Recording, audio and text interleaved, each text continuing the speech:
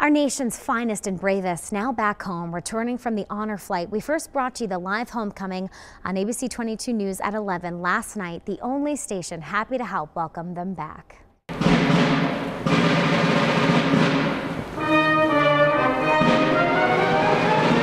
200 active duty Air Force troops leading the way for the main event. We're very happy to welcome our World War II, Korean, and Vietnam veterans. Our nation's finest and bravest returning on the honor flight. When you think about what these, those people did for us, and when it, when it comes to the moment where they come down that aisle, I think emotion is something that's shared by me and by everyone here. The first return flight of 2015 had 91 veterans on board. They spent time in our nation's capital, visiting the very memorials honoring their service.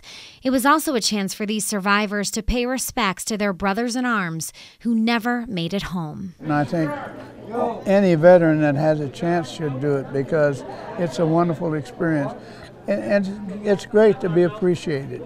I was in World War II. Jim Vernier encouraged his friend Floyd Williams to go. I'm happy to be here because I fought two wars in the infantry. I've been to Pyongyang. Dennis Rodman ain't the only one that's been to Pyongyang.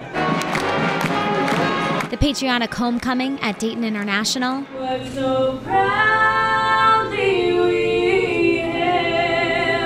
Unexpected and wonderful. It just overwhelmed me. I just didn't expect that. I don't think how you can live another day in this life without showing some appreciation for those veterans.